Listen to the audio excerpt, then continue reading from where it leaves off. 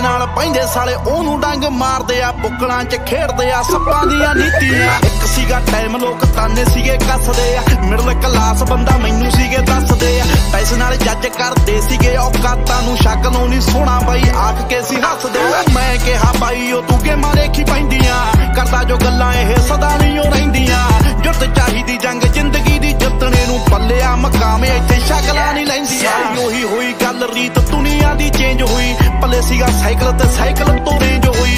ਮਾਰਦੀ ਐ ਗੱਲਾਂ ਸਾਲੀ ਦੁਨੀਆ ਤਾਂ ਵੇਲੀ ਐ। ਹੁਣ ਦੇਖ ਜੀਟੀ ਰੋਡ ਉੱਤੇ ਕਿੱਲੇ 'ਚ ਹਵੇਲੀ ਆਹ ਦੇਖ ਮਾੜਾ ਟਾਈਮ ਤੇਰਾ ਦਿਲ ਕਾ ਤੋਂ ਕੱਟਦਾ। ਟਾਈਮ ਨਹੀਂ ਉਹ ਦੌਰ ਆਇਆ ਮੂਸੇ ਵਾਲੇ ਜੱਟ ਦਾ ਜਦੋਂ ਆਈ ਵਾਰੀ ਤੇਰੀ ਆਪੀ ਅੱਗੇ ਜਾਵੇਂਗਾ ਜਿਹਨੂੰ ਕਰੇ ਰੱਬ ਅੱਗੇ ਉਹ ਪਿੱਛੇ ਕਦੋਂ ਹਟਦਾ? ਬਦਲਾਂਗੇ ਦੌਰ ਉਹ ਤੂੰ ਗੱਲ ਕਿਹੜੀ ਕਹੀ ਐ? ਦੇਖਿਆ ਅੱਜ ਗੱਭਰੂ ਨੇ ਧੂੜ ਕੱਢੀ ਪਈ ਐ।